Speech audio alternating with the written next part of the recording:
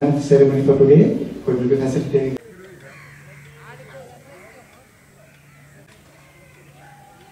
Eastern Province Tourism Bureau, Tourism Advisor,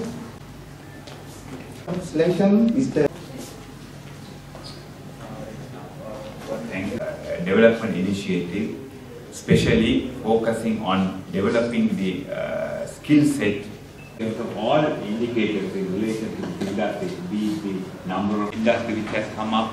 We have seen a tremendous growth, almost we uh, looked against the uh, increase in accommodation within South Having utilized all these uh, potential sectors in and they have all kinds of districts in the country. Luckily, three stakeholders of the tourism industry have to be united and work in order to see, not improve the skill set currently in Batticaloa district also, they can get as well as how they can really participate. Uh, And also for the workforce that is actually employed or job seekers, we call it.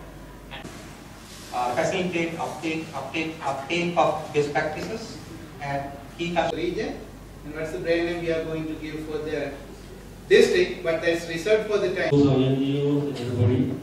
And uh, of course, the major part is Sri Lanka also. arrive in all three districts and uh, they will be able to compile it to the one provincial uh, strategic action plan. valuable child and he was with us last three days